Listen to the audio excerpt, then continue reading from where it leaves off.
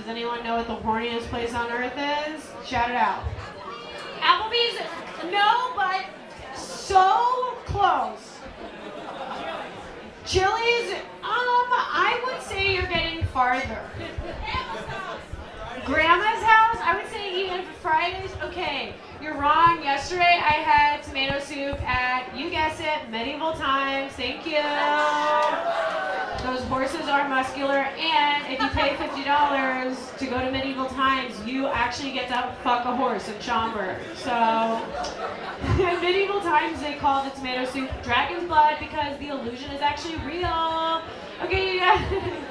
We're gonna take a 10 minute break, so stick around. We have one more chili performer.